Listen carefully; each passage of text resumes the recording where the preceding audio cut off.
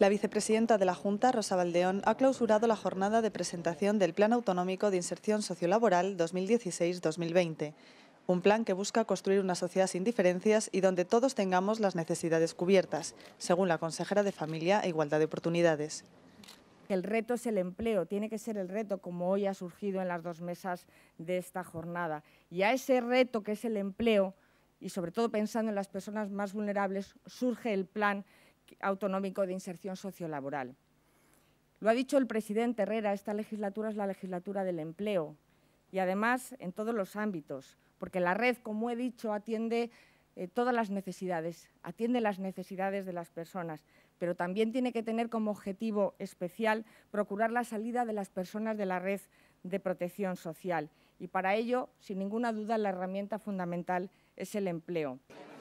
Alicia García ha explicado que el plan se centra en actuaciones personalizadas de carácter integral dirigidas a personas con discapacidad y en exclusión o en riesgo de estarlo, como inmigrantes, drogodependientes, minorías étnicas y víctimas de violencia de género.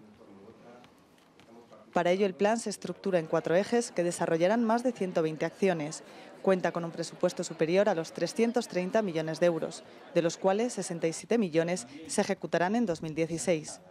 Este plan se pondrá en marcha de forma inmediata quiero adelantar que con carácter ya inmediato, el próximo mes, vamos a aprobar ya una de las medidas eh, incorporadas en este plan, porque vamos a, a establecer y vamos a aprobar también en Consejo de Gobierno un nuevo acuerdo sobre incorporación de aspectos sociales en la contratación pública puedo anunciar hoy que vamos a trabajar durante este año ya en eh, iniciar los primeros trámites del proyecto de ley para perfeccionar la configuración y el funcionamiento de la red de protección a las personas y familias.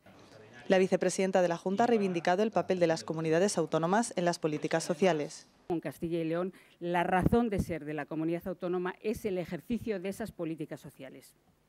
Es algo que Herrera ha denominado el autonomismo útil, porque estamos convencidos de que las políticas sanitarias, educativas, sociales y de empleo se hacen mejor desde cerca. No quiere decir que no recibamos fondos y transferencias finalistas del Estado, pero las decisiones las tomamos aquí.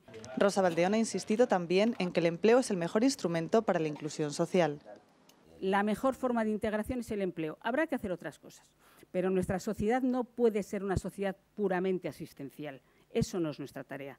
Nuestra tarea es que la asistencia se dé por hecha, la asistencia es eh, absolutamente inamovible, pero nuestra tarea es ser más proactivos para que esa sociedad, como digo, sea una sociedad de verdad inclusiva y de todos. La Junta ha elaborado este plan sociolaboral para el empleo de las personas más vulnerables con la colaboración y aportaciones del diálogo social y entidades del tercer sector.